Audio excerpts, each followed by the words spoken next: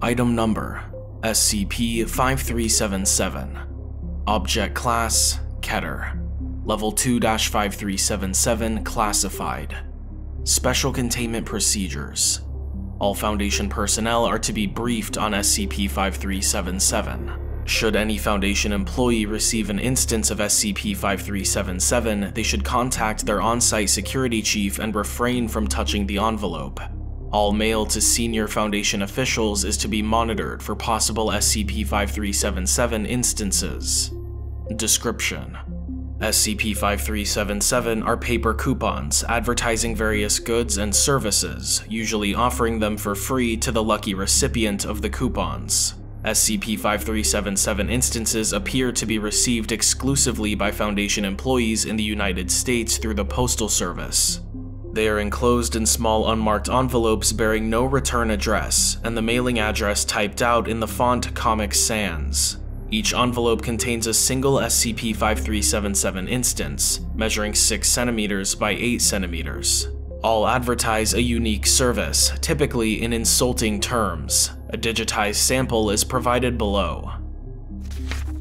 One free summon. Good for helping you lose weight, you fat fuck courtesy of YWTG THFT. Disclaimer YWTG LLC cannot be held liable for any damage, injury, death, mutilation, vivisection, impregnation, ego death, or other form of harm caused by use of promotional coupon. The user accepts all responsibility for any illegal, immoral, or immature activities performed while being serviced by an outside demonic contractor. Outside demonic contractors are not vetted by YWTG THFT LLC, and any statements or actions made by them should not be interpreted as an official company statement or action, as well as vice versa.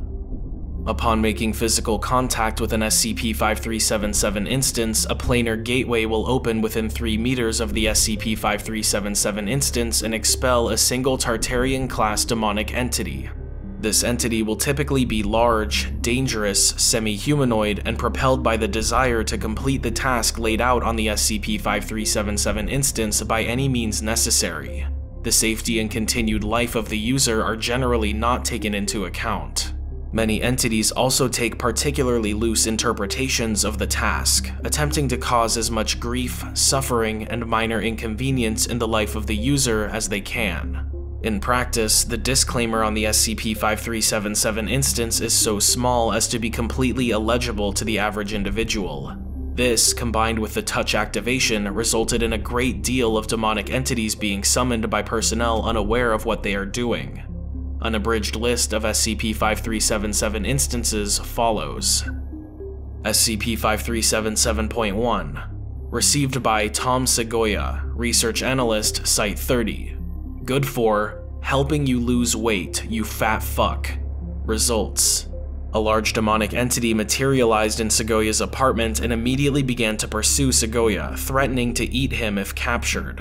Entity chased Segoya, who was slightly overweight, across several counties for 41 hours of non-stop running, at which point Segoya collapsed of dehydration and suffered a fatal heart attack. The entity physically removed several pounds of flesh from Segoya's corpse before dematerializing. Segoya's weight at the time of recovery was 98 pounds, less than half of what he had weighed prior to the incident. SCP-5377.4 Received by Charlie Benningham, Security Guard Site-19. Good for making sure she's not being unfaithful, loser. Results. A feminine demonic entity materialized in Benningham's home but quickly disappeared. Benningham retrieved his service weapon and immediately reported an anomalous event to Site-19 security, and a tactical response team was deployed to the Benningham family home. Upon arrival, they discovered Benningham at the doorway to the master bedroom, curled up in the fetal position and weeping as the demonic entity engaged in consensual intercourse with his wife, dematerializing as they finished. Benningham later stated that he had been struggling with suspicions of infidelity from his wife recently. SCP-5377.9 Received by Sarah Sellwater, Senior Researcher, Site-19 Good for providing some faithful company, loser. Results. The exact sequence of events were recovered from a security camera in Sellwater's dormitory at Site 19's sublevel 35. The envelope is sitting on her desk as she walks into the room and closes the door behind her. Upon making contact with the coupon, a demonic entity manifests, clutching the leashes to two large Alaskan timber wolves. They are struggling against their leashes. The demonic entity lets go and the two wolves immediately leap on Sellwater, mauling her and tearing her to shreds with their jaws and teeth. She remains alive for several minutes, well beyond what should have been possible given her injuries, and finally expires when the wolves begin to consume her body. Footnote 1. Sellwater's body was discovered several hours later, and the unexpected presence of the wolves resulted in severe injuries to another researcher before they were terminated.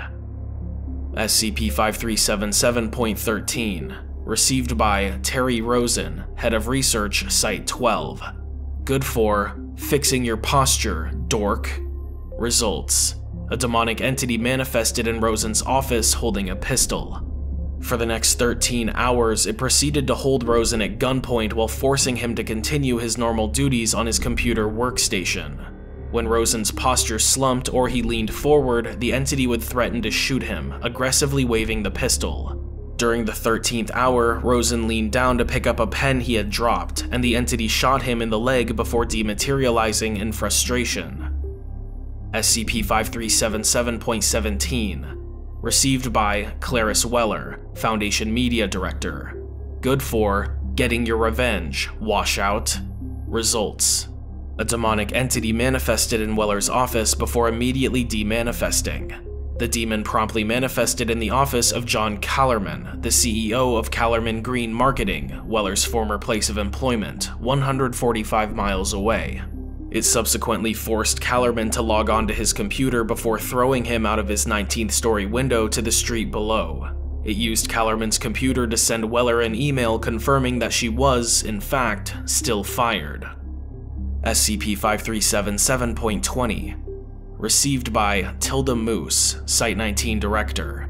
Good for putting you back where you belong, Snake. Results The envelope was opened by Director Moose's secretary, a gateway materialized in the room, but opened to reveal that it was a way, allowing access to NX-001, the Wanderer's library. A demonic entity entered through it, assaulted and grabbed the secretary, likely under the impression that they were Director Moose, and took them through the way, which disappeared after them. Director Moose denies any knowledge regarding the background context of this incident. SCP-5377.21 Received by O5-6. Good for making that son of a bitch pay, motherfucker. Results. Due to the increased security after the incident with Director Moose, the mail was intercepted well before it came close to O5-6 or his secretaries. All attempts to destroy it simply resulted in another envelope arriving the next day. It was instead triggered in a controlled laboratory environment using D-19471.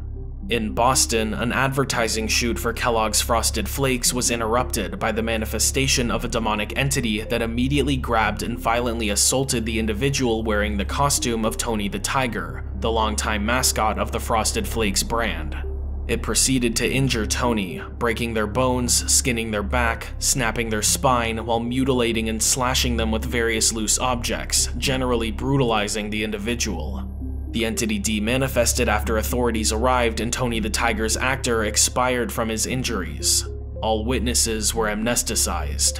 O5-6 has declined to comment.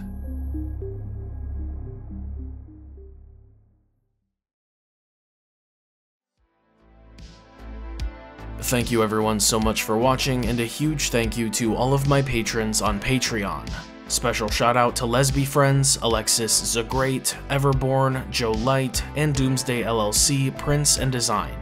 If you'd like to help support the channel, head on over to patreon.com slash drmaxwell, link in the description.